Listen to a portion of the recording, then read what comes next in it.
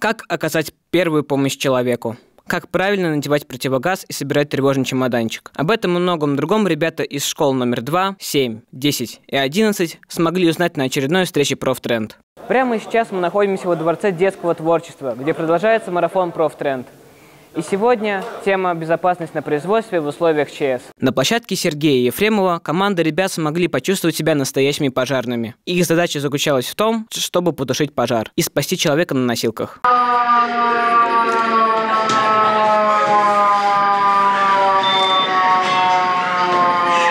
У Александра Никитина и Сергея Курнопялова ученики, помогая друг другу, надевали защитные костюмы «Корунд», которые спасают тело от радиации и ее пыли. На площадке у Ильи Блохина и Александра Сиверцева ребята учились оказывать первую помощь при потере сознания и остановке дыхания. Больше всего мне понравилась станция, где мы спасали жизни людям, то есть проводили искусственное дыхание, а также непрямой массаж, массаж сердца. Прямой массаж сердца, искусственной вентиляции. Мы определяем. Правильно надевать противогаз ребята научились у Эдуарда Лавягина. Э, показать и объяснить, как их надевать.